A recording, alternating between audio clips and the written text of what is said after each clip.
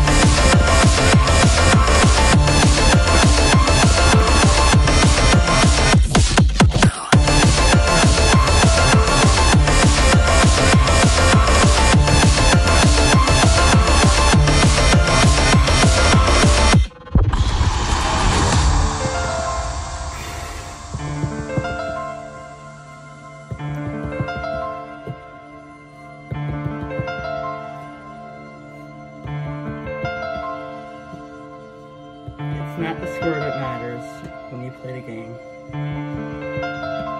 It's the experience. Good game.